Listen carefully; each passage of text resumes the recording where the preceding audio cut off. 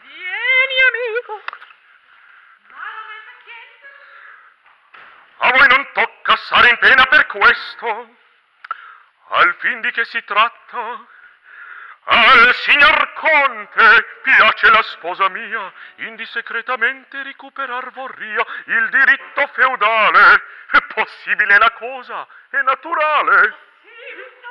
Naturalissima, e se Susanna vuol, possibilissima.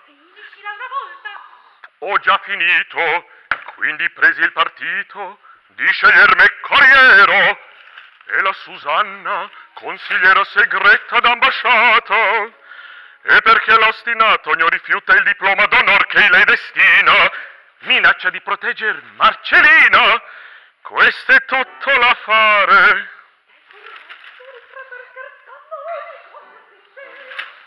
Non vi basta che scherzando io ci pensi? Ecco il progetto. Per Basilio un biglietto io gli fo capitar che l'avvertisca di certo appuntamento che per l'ora del ballo un amante voi deste.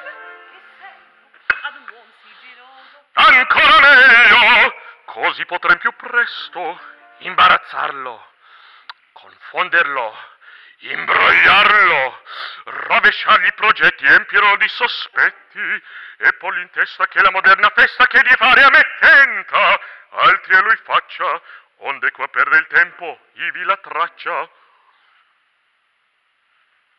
Così quasi ex abrupto e senza che abbia fatto per far stornarci alcun disegno, vien l'ore delle nozze, e in faccia a lei non fia così d'opporsi ai voti miei.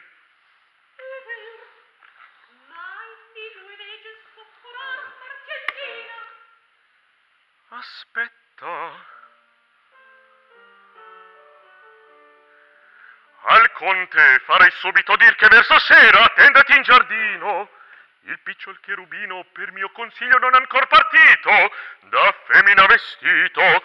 Farremo che in sua vece ivi sen vada.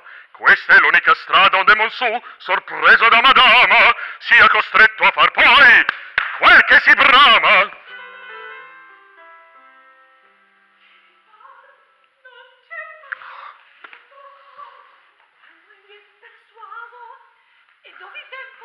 Ito il conte alla caccia e per qualcora non sarà di ritorno.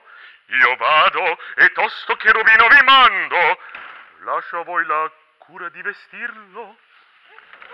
E poi, se vuol ballare, signor Contino, Il chitarrino le suonerò sì, le suonerò sì, le suonerò.